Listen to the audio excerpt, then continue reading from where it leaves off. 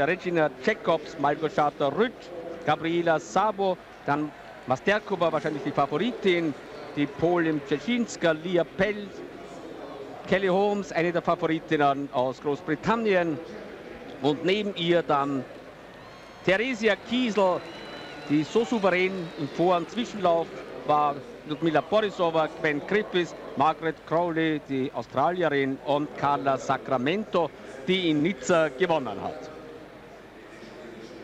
Realistisch ist ein sechster Rang für Theresia Kiesel, aber sie hat sehr gute Leistungen hier gezeigt und vielleicht gelingt ihr eine Überraschung. Die Favoritin ist zweifellos diese Läuferin mit der Nummer 3700, Svetlana Masterkova. Die Russin ist heuer die schnellste gewesen über diese Distanz mit einer Zeit von 3,59,30 aufgestellt in St. Petersburg und sie wurde hier Olympiasiegerin über 800 Meter. Kelly Holmes, die bei der Armee als Judo-Trainerin tätig ist, zählt ebenfalls zu den Favoritinnen. Vierte über 800 Meter im Vorjahr, zweite bei der Weltmeisterschaft mit einer Zeit von 4.03.04. Carla Sacramento, die 24-jährige Portugiesin aus Lissabon, sie stammt aus Mosambik, war schon im Semifinale 1992. Auch Theresia Kiesel übrigens, damals im Semifinale ausgeschieden. Und Carla Sacramento hat bei ihrem Sieg in Nizza gezeigt, wie stark sie heuer ist. Und wo ist jetzt Theresia Kiesel? Sie hält sich gleich gut an der dritten Stelle nach dem Start. Und Masterkova.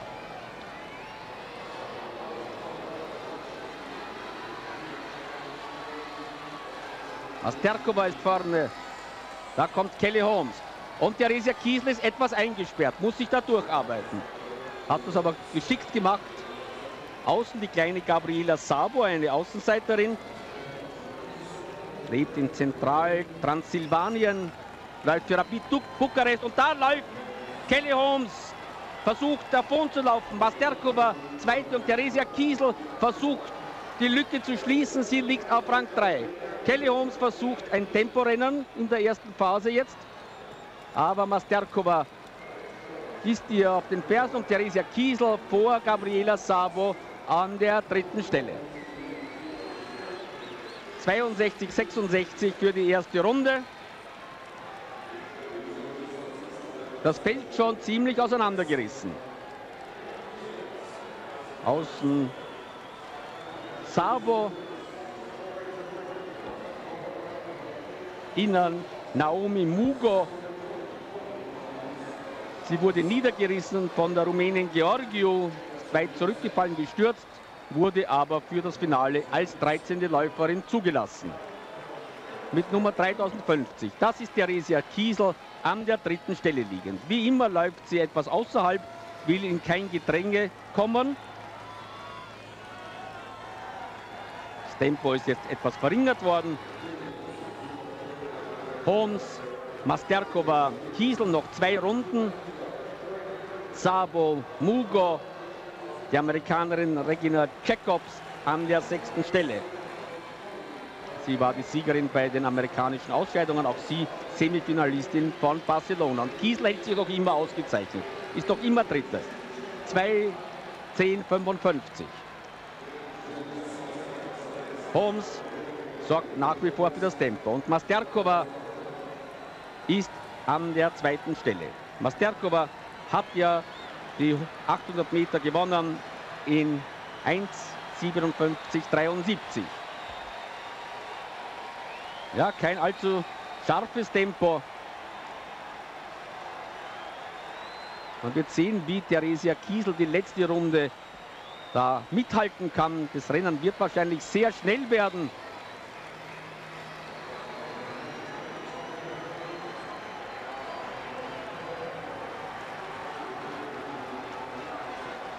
Die letzten 400 Meter. Noch ist Kiesel Dritte. Sacramento ist da dabei. Holmes führt nach wie vor. Und Gabriele Sabo, die kleine Rumänin. Noch 300 Meter. Masterkova greift Holmes an. und Sacramento neben Kiesel.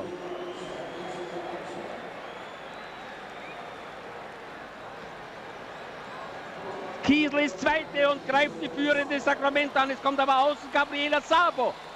Reicht es vielleicht doch für eine Medaille für Theresia Kiesel? Die anderen sind schon etwas zurückgefallen. Gabriela Sabo ist vorbeigekommen. Und jetzt kommt die Kanadierin. Lia Pelz. Kiesel fällt zurück, ist aber noch Dritte. Aber es müsste sich ausgehen. Das wäre eine der größten Sensationen in der österreichischen Leichtathletik. In einem Laufbewerb gewinnt Theresia Kiesel eine Medaille. Ich glaube, es ist sogar ein neuer Rekord. Was Terkova gewinnt vor Sabo. Aber die Brustmedaille für Theresia Kiesel. Eine großartige Leistung, die sie hier geboten hat. Ich habe es nicht gewagt zu sagen, sie hat eine Chance, denn realistisch war sie nicht vor Beginn dieser Olympischen Spiele.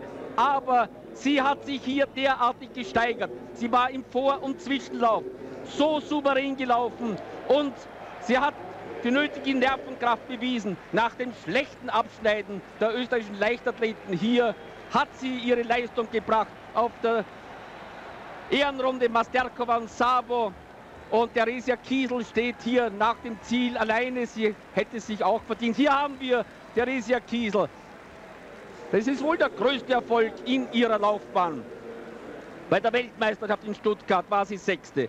Bei der Hallen-Europameisterschaft heuer hat sie nach dem Vorlauf zu den Favoritinnen gezählt, hat aber die Nerven etwas verloren, ist nur Fünfte geworden. Sie ist Mutter von zwei Kindern, hat eigentlich mit dem Wettkampfsport schon aufgehört und ist wieder ganz, ganz groß herausgekommen. Und voll Stolz präsentiert sich Kiesel dann im rot-weiß-roten Outfit. Heute sind das moderne Farben im Olympiastadion und die Leichtathletikdelegation hat jeden Grund zur Freude, natürlich so wie Kiesel selbst.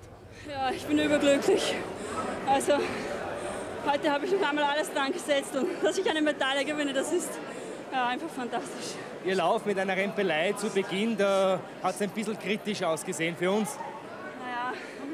Zuerst habe ich geglaubt, es würde so ein Bummelrennen, total langsam. Ja, bis dann der, die Kelly Holmes angezogen hat, dann habe ich gewusst, es wird ein schnelles, flottes Rennen und ich brauche nur dabei zu sein und zum Schluss alles geben. Und ist Ihre Taktik aufgegangen? Ja, natürlich. Ich habe heute noch einmal alles gegeben, was in mir steckt und es wurde mit einem dritten Platz belohnt. Ich bin sehr, sehr glücklich. Bronze medalist representing Austria. Médaille de bronze représentant l'Autriche. Theresia Kiesel. Nach 24 Jahren Pause, Ilona Gusenbauers Hochsprungbronze in München 72 war das letzte Erfolgserlebnis, darf sich also der rot-weiß-rote Verband wieder über olympisches Edelmetall freuen. Und zu hoffen bleibt zum Abschluss nur, dass die nächste Medaille nicht so lange auf sich warten lässt.